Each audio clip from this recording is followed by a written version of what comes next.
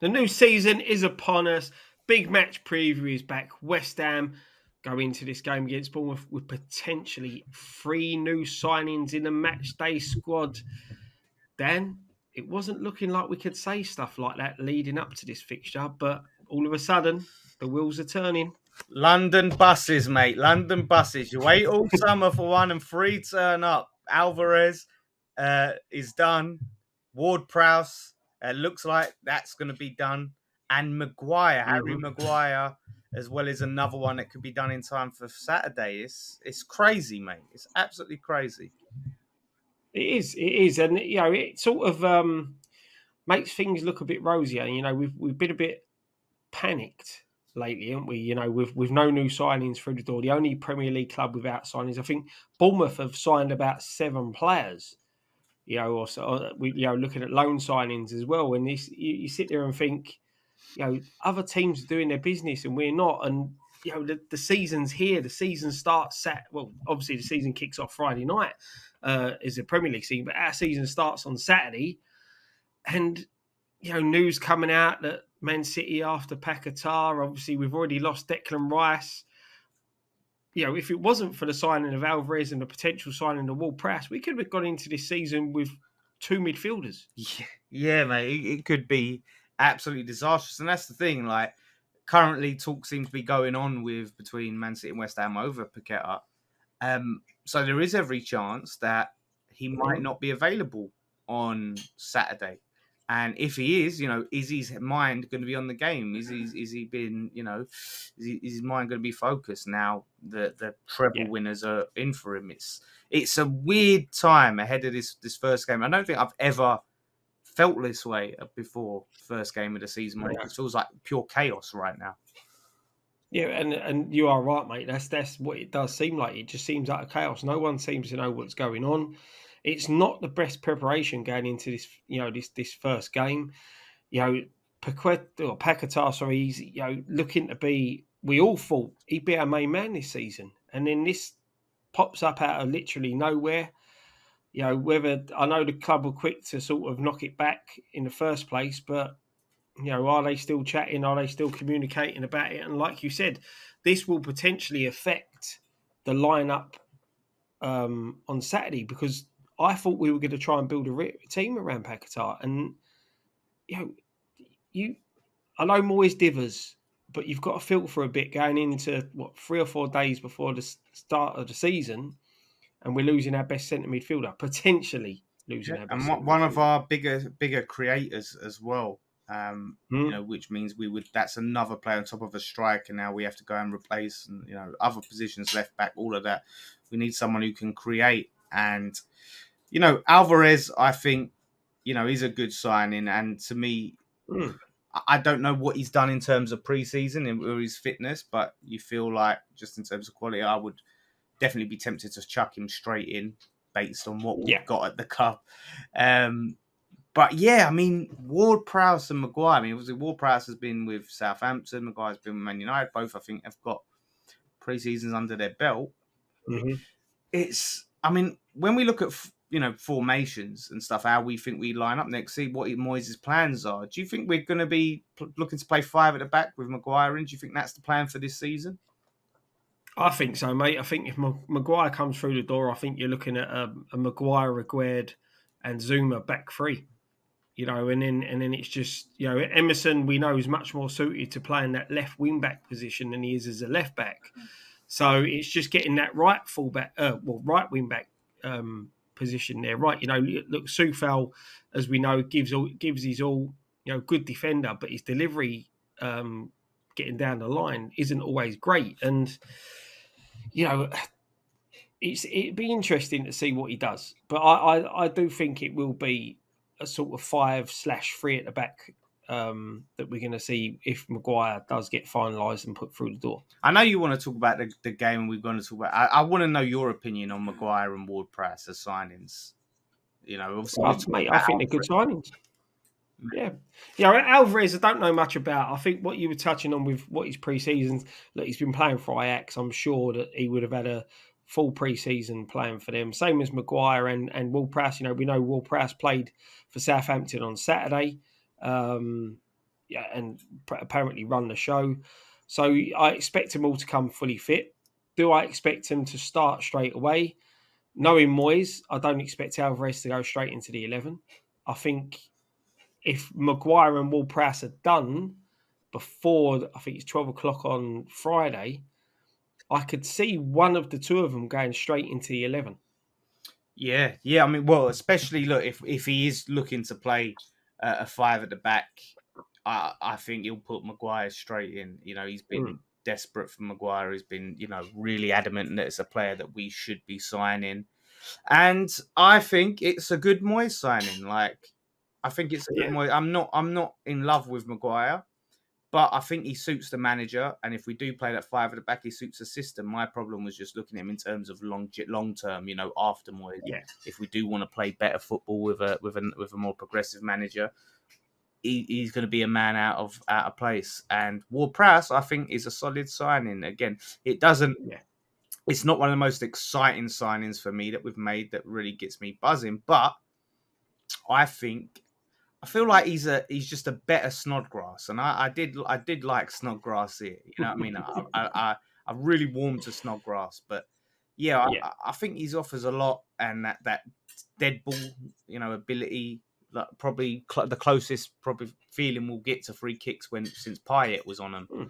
and and we know our corners are shocking, absolutely yep. shocking. So, you know, we, I don't think we're going to play good football this season, but I think it could be effective. Him on corners, set pieces with people mm-hmm. like Maguire in there attacking him, Zouma attacking him. If Soucek's on the pitch, um, you know him going at him. If Antonio's playing, which he he's pushing for a leave apparently to leave with Cresswell, but if he is there, you know it, there's options. We can go back to being them yeah. set piece specialists as a, and get a that's, that's, it, mate. You know we we were. We, you know, we dominated the season. You know, when we got to the semi final in Europa League, it was our set piece threat that practically got us in that position. You know, the amount of times Dawson um, was scoring from set pieces, things like that. Like you said, if you add the ability that Ward Prowse has, you know, he, I think he got 10 goals last season for in a poor Southampton side. I'm not too sure how many assists he got, but just having that quality on the ball, the composure that he brings, you know, if if Paquetá goes does go out the door, it'd be a shame because it would be interesting to see them two playing together. But if we do lose Paquetá, I think Ward Prowse sort of can add that little creative spark in the midfield. Yeah, he's not going to. This is the thing with Alvarez being the focus on defense. You know, mm. then Ward doesn't have to worry about that. You know, that's not his strong point. You know, yeah, he can he can intercept a ball, but you know you're not going to see him really sticking in with the tackles and and and defending. So if you've got yeah. Alvarez knows his job, but he can also drive forward Alvarez. But you know, getting the ball to Ward Prowse, who then mm. then can pick out passes. And when I look at Ward Prowse and um, what do you call it, Alvarez, if we do play that wing back system, you have options then because that both of them seem to like those diagonal balls, you know, into the. Mm-hmm and you have those played, and you have a, an Emerson running on one side, and well, it has to be Coufal at the moment on the other. Into those bits of those those pockets of space, people say running onto, mm. whipping in crosses. We're just going to need players that are effective at attacking those crosses. That's it, mate. That's it. Yeah, and that, and that, that, that is the worry. You know, it's do we stick with? Are we going to play a lone striker? Or are we going to play two up top? You know, when when you look at if we do play that five and look to go wide quite a lot, I think um, Mubama would be more suited to play as the lone striker if we if we are playing one up front. But I feel if we play the five at the back, it gives us the freedom to play two up top. Ings and Ings and Bowen or Ings and Mubama. I mean, yeah, you can't. The thing is, if we do play that, like you, can't, I can't see Bowen playing as a right wing back. Uh, no. So no. really, yeah, unless he, we, we, yeah. So if we are playing like a three-five-two, him being the legs and the workhorse, and Ings being that fox in the box, mm-hmm. could be a good partnership. You know, yeah, it's, yeah. It's... and it gives you a bit more fluidity as well. Yeah, you know, in in the system and in the shape. So you know, it's it. it and and the thing is, we've also got to look at is Aguerd could play left back potentially. What? You know, if we were to go for it at the back, you know, with oh, Cresswell yeah. being looking like he's out of the club, I, I can't see Cresswell being involved at all. You, you wouldn't know, play on, Emerson left back as a full as an out and out left back because well, I'm, no, I'm just saying it is a, it is an option oh, that right, Greg yeah. could play left back. You mean if we don't, you know, find, uh, another one, another left back? Yeah, yeah, with Cresswell looking like he's done yeah. at the football. I think club, we will. Know? I think we will sign another left back. I think there's definitely. I'm surprised yeah. Moyes ain't gone in for Luke Shaw. You know, apparently we're linked with yeah. Martial. We might as well go and let's go and get Wan-Bissaka in. Do you know what I mean? Which I would take that's it. To be honest, yeah. that's the thing. And the thing, the thing is, the annoying thing for me is that you know when you look at Bournemouth, they've changed manager. You know, they Gary O'Neil, I thought, done a quite a good job, especially to keep Bournemouth up. But they've they've they're going for a different style of play. They've brought in a new manager. I think it's um, Iriola. Did we say we Ira, sort of worked uh, out? Iraola. Iraola. Iraola, right? So, you know, when he's gone out, he got his targets. Brought in Justin Kluivert. They brought in a left back from AC Alkmaar that caused us a lot of problems in the games that we. Um, I think it was the second leg. I think he was suspended for the first leg, weren't he? Um, but the 19 year old Hungarian left back, he was quite good. You know, so it, it, they've they've done their business early. They've identified the targets, done their business early, and they're going to be probably a little more settled. Yeah. You know, in in what they what they're wanting to do because they've had that new manager from the start of pre-season. You know, the players that were there that haven't been sold off. You know, they they understand the philosophy of the player, uh, the manager. Sorry, the players that have come in. There's going to be a lot of understanding where. Now, okay, we haven't signed anyone. The players have been there around Moyes, but last season was pretty poor. And look, the the players are professionals; they're going to get on with their job. But all this circus around the football club with you know the Rice going, not being able to sign replacements, and and all the rumours that we're here flying about, it will affect us. And it's just, you know, do we see a Moyes eleven that is we're going to sit behind the ball and try and catch them on the break? But if you look at Bournemouth of last season, as I said, new manager, I get new ideas and new and new signings. But we took the game to Bournemouth last season, and we tore them to pieces. So you've sort of got to look at as much as the new manager, new philosophy that he's bringing in. Some of that players in that side that are going to start on Saturday would have been there last season and thinking, hold on a minute, you know, we had our asses handed to us last season. Yeah. You know, so it, for me, we've got to start on a positive foot. You know, we can't afford to be too negative going to, into this fixture. Yeah, well, that, and that that's the thing, isn't it? Like you said, we're going to be potentially playing a, a new system or you know a system we haven't played so much. Um, mm. There's a lot of change, but yeah, right. I, I think it's so important to try to to win this game, not just you know for the obvious, just the, the three points, but just with everything that's been going on around the club at the moment, I think a win going out there, putting that marker down, will you know really give the fan base a lift and really, I think, settle a lot of worries, a lot of nerves, and mm-hmm. um, yeah, give us that much needed positivity. Where I think a loss would be the opposite, and it would just add that pile yeah. of, of of worry, of of negativity. And um, yeah, I mean, look, if we did go on, like you said, on the front foot, and play more positive and uh, go for it. I think that as well is something that can can can give us a lift. But I can't see us playing much good football this season, especially away from home. But look, I've always said this: like, if you're going to play crap football, just make sure it's effective. Like you're winning with it, you're winning games. I can't. That's it. Yeah, being being sort of mediocre or being crap you know, bang av- or bang average and playing crap football to me, I don't accept that. Like I can't. What's the no, point? No. You know, if you're not if you're not really if you're not going to achieve anything, you're not going to be competing up. If it's not going to be that effective, what's the point? We might as well be entertained and be you know mid table mm. or, or in a relationship. Yeah, yeah, I'm, I'm, exactly with you, mate. Like you said, if you're going to play badly, be effective at playing badly and get the results. You know, and last season at times we played badly and you know didn't get the results, you know, and and got got our asses handed to us, so to speak. So it's going to be tough. Opening day is always tough. You sometimes you can't read too much into it, but I think, like you said, a positive result for us will will give us good stead going into the Chelsea fixture. You know, losing losing this one with everything going on at the moment around the football club, losing the club captain, potentially losing Paquetá, you know, a loss would be devastating. I think to start the season that way. Yeah, no, absolutely, mate. Um, so you know, like I said, but having those those new signings, I think, even in the squad, can give us a lift. Could give the team a lift, give the fans a lift.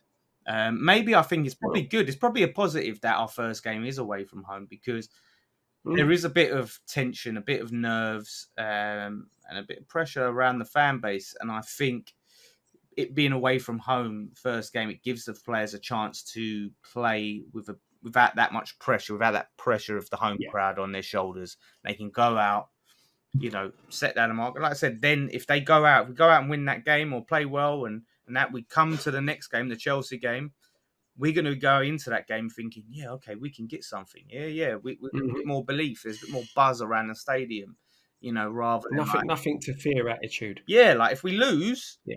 then you know, you're always going to be up for a London derby, but I think there's going to be hmm. more that like, oh shit, we could be in for a drubbing here, and it, just puts a little yeah. bit that that that pressure on. So, yeah, hugely hugely important. But yeah, I think that's the as fixtures go, opening fixtures. You know, it's it's a tough one because we don't have the best record there, and people are taking it for granted. But as opening fixtures go, it's probably one of the best ones we've had in a long time. Yeah, definitely, mate. Definitely. You know, we're so used to starting against the so-called Big Six, so um, it yeah. is quite nice again to get someone. And like you said, away from home, you know, we'll we'll wait and see what happens. But you, you know, as always, we're we're we're optimistic as West Ham fans, and I'm going to ask you on your prediction on this one, mate. Oh, we're not doing. Are we not doing lineups? Are we not doing our team? Well, I was going to say about doing team, but then I'm sitting there thinking it's a bit. We don't know who we're going to have. All right, should we? yeah. All right, should we do our team based on let's say Maguire and Ward Prowse aren't going to be available, right? Because probably they probably won't be. They'll be on the bench. So let's say Alvarez, right? And let's do our yep. lineup if Alvarez. So I'll say this is what I. Okay, yeah, I was gonna say what I think he'll do, but this is what I want to do. Okay, so I'll put that in mind because yeah, I would like to see Areola start, but I think he'll start Fabianski, right? But Areola in goal, mm-hmm. Emerson left back, Aguerd Zouma, Coufal. Yep. I'm gonna go on the basis that Paqueta is still at West Ham player as much as it's mm-hmm. looking dicey at the moment. Downes and Paqueta in the middle. I'm gonna go Fornals, number ten. Yeah. Benrahma on the left, Bowen on the right, Mubama up top. Oh, throwing youngster straight in. I like it, Dan. I like it, mate. yeah. I, I, I, I, with your back line, I'm, I'm totally in. I agree with that. That would be my back four and, and the goalkeeper. Um, I would go Paquetá, probably Fornals, Bowen, Benrahma, but I'd go for Danny Ings. I know I keep saying he's not the lone striker, but I go for experience over youth. Mm-hmm. That's the reason why I didn't go for Ings is the lone striker. Yeah. Um, yeah. Yeah. And that's the thing. I, I look, Antonio, I didn't. I, I, would have gone with him as a lone striker option, but I just feel like he, he's hmm. heads out the door. Um, and, and, not only that, he ain't had a lot of minutes, has he? No, you know, he's he's not going to be. You'd you'd rather a, a sort of half fit Antonio coming on the last half hour of the game. You know, with tired defenders, that type of thing, instead yeah. of him starting and then bringing on Danny Ings. So if he stays, I feel like that's the way to use him this season, and, and yeah. I think he could be effective at, at, that. You know, let him really maximize his minutes in those short amount of times, and just you know, yeah, go all out. Um, so so yeah, that's interesting. So yeah, when it comes to score predictions, oh my god, I, I why do I do this? Why do I go into a season and I'm feeling so down and dumb, so negative, right? But when it comes, when the game comes and that you start to get to the game time, you start to feel that magic, you know. Yeah, yeah, happens, mate, uh, all the time. I'm just, I'm, I'm gonna say West Ham win. I don't know what I'm thinking. I don't know what I'm smoking, but I'm gonna say two, two, one West Ham. Do you know what? I'm gonna say one 0 West Ham. I'm gonna I'm gonna put it out there. We're gonna get a clean sheet and nick a game one 0 All so, right. um, yeah. Is it that as we always know, and as I always keep saying, there's never an easy game in the Premier League, you know. But let's hit the ground running. Let's get these three points over the over the you know and done, and, and give ourselves a bit of positivity going into the Chelsea fixture next week. But um, yeah, Dan, thanks very much for joining me on this uh, edition of the Big Match Preview. There will be a preview for the Chelsea fixture. I I won't be on this one, so I don't know whether Dan you're going to be taking over the mental for me um, going into that one. But yeah, um, one thing left to say, mate. Come on, you irons. Come on, you irons.